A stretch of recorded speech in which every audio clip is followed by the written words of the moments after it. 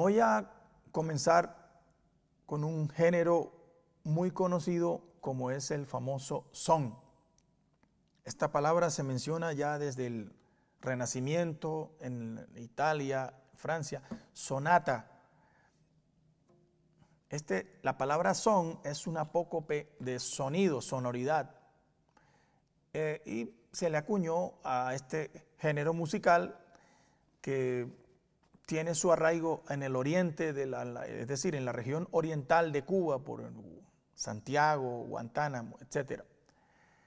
Y como todas las músicas, ha tenido transformaciones, desarrollo, de manera que en este curso abordaremos el estudio del son, viendo, pues, eh, observando los estilos eh, añejos, como el changüí, que son como variantes de este complejo del son, el nengón, los montunitos, el pregón, el criba, todos esos son estilos de son que se cultivaron por los años a principios del siglo XX, repito, en la zona oriental de Cuba, con una organología diferente a como se practica hoy. Eh, podría mencionar la botija, bueno, ya estaba la clave, el bongo, el tres, la guitarra, eh, la marímbula y por supuesto la antifonía, es decir, los cantos responsoriales, pregunta-respuesta, coro-pregón. Muy bien, como les había comentado, em, la idea de estos cursos es complementarlos e ilustrarlos con material audiovisual, en este caso en el video. Les voy a mostrar eh, cómo eran los formatos de son, son cubano, es decir, los estetos, septetos. Hablaremos de los grandes cultores como Ignacio Piñeiro, el trío Matamoros, bueno, Rita Montaner, Antonio Machín, todos esos grandes cultores que nos han dejado este legado.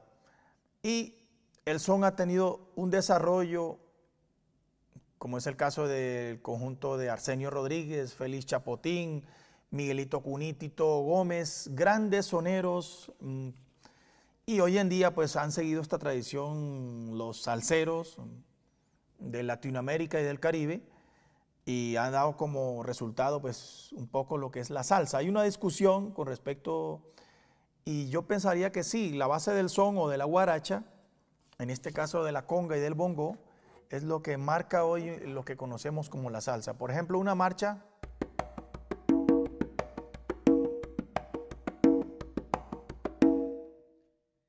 Esto nos lleva a, a, definir un poco lo que es la salsa.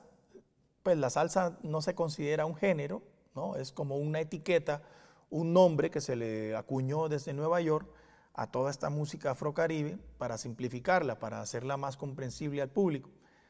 Algunos teóricos dicen que el son es la base de la salsa.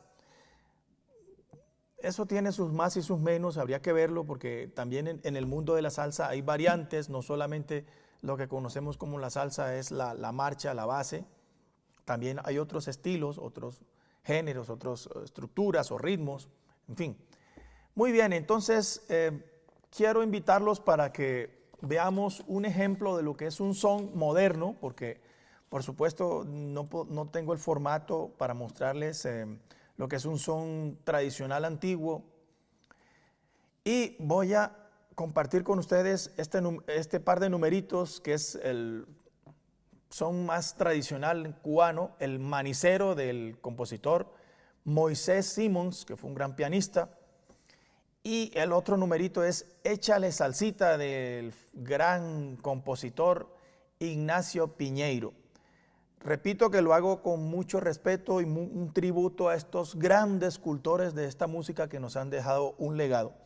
Entonces, veamos eh, en este ejemplo que está todo en vivo, eh, hay, un, hay una sección armónica con piano, bajo, una sección ritmo percusiva, tumbadoras, bongo, timbal y güiro, aunque usualmente se toca con maracas, y una línea melódica con una flauta en la primera voz y un saxofón en la segunda voz, con estos grandes músicos colombianos, eh, la cantante y flautista Carmen de Nariño y nuestro amigo el saxofonista Diego. Entonces, para ustedes, el manicero y échale salsita. Ahí nada más.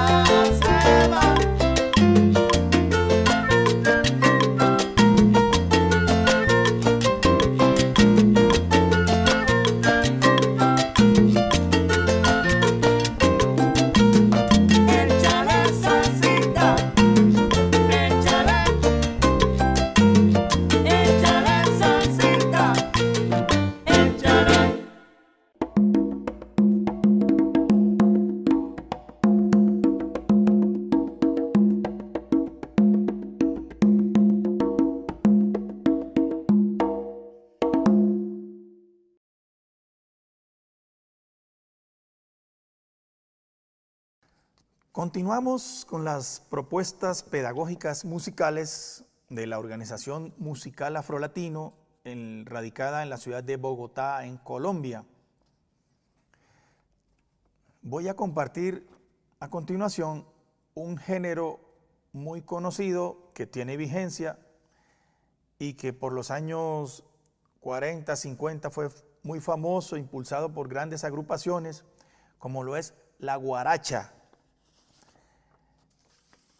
En cuanto a lo técnico, la guaracha es un poco más alegre, es decir, en tempo, en agógica, más alegre que el son.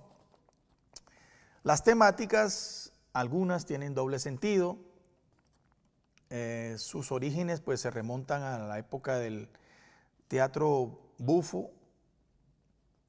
Eh, hay grandes escultores de, de, esta guaracha, por ejemplo, el maestro Ñico Saquito, que fue uno de los grandes escultores de este género. Todos recuerdan, María Cristina me quiere gobernar. Eso es, por ejemplo, una guaracha cubana.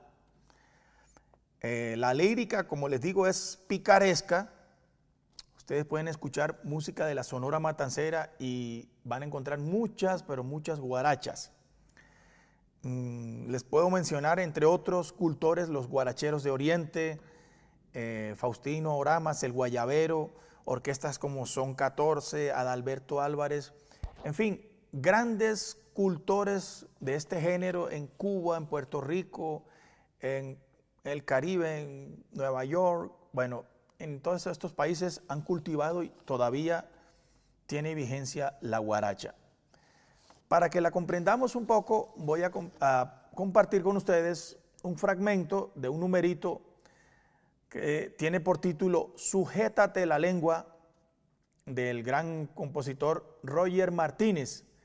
Este número lo han interpretado varias agrupaciones, como el caso de la Sonora Matancera, del maestro Eddie Palmieri. Es un tributo también a la gran guarachera de Cuba, Celia Cruz.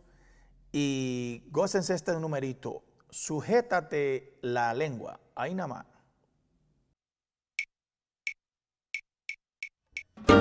En este mundo hay una cosa muy mala.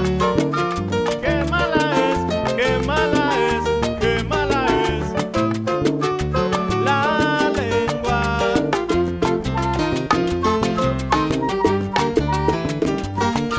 sujétate, sujétate, sujétate la lengua.